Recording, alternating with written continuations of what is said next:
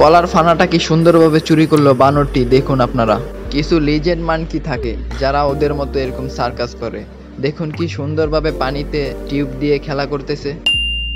মায়ের ভালোবাসার সাথে অন্য কোনো ভালোবাসা মিলবে না। এই ভালোবাসার শেষ নেই, এই ভালোবাসার কোনো তুলনা নেই। মা সন্তানকে কতটা ভালোবাসে তা আমরা সবাই জানি। দেখুন এক বানরের মায়ের ভালোবাসার কাহিনী, কি সুন্দরভাবে বাচ্চাটাকে আদর করতেছে মা। দেখুন দুষ্ট বানরটা কাঠের গুড়ি দিয়ে কি সুন্দরভাবে খেলা করতেছে। ওদেরকে বুদ্ধিমান বললেই চলে।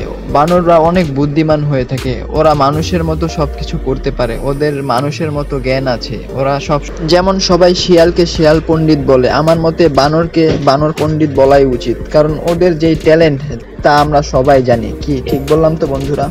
বানরটার এত পরিমাণ ট্যালেন্ট, তা আমরা ভিডিওটা দেখলেই বুঝে যাই। বানরের বাচ্চার সাথে হাঁসের বাচ্চাটার কি সুন্দর একটা বন্ধুত্ব দেখুন। ওদের দুজনকে কি সুন্দর কিউট লাগছে দেখুন। মাশাল্লাহ কত সুন্দর কিউট এত পরিমাণ কিউট যা বলার বাইরে। ছোট্ট বাচ্চা বানরটি গাছে উঠা শিখে গেছে। তাই ও গাছে উঠেছে, কিন্তু ওর মা ওকে গাছ থেকে নামার জন্য ও এখন ছোট, তাই মা ওকে আগলে রাখছে। তা সব সময় ওকে আগলে রাখার জন্যই ওকে এখান থেকে টেনে হিচড়ে নিচে নামাচ্ছে। কারণ মায়ের ভালোবাসায় বেস্ট